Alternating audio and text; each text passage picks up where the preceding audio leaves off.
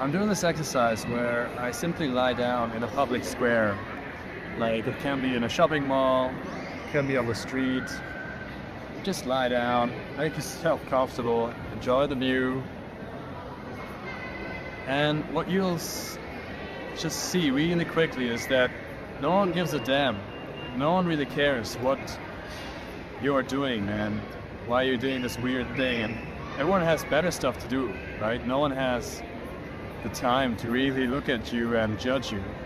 So you can just lie down here and do that for a really long time, like my friend over here, Mateos, and you will start feeling a little bit of tingliness, a little bit of awkwardness, but you can just feel into that. You can lean into that, and after a while, it just dissolves, and then you feel comfortable doing something weird, doing something uncommon, doing something against the grain.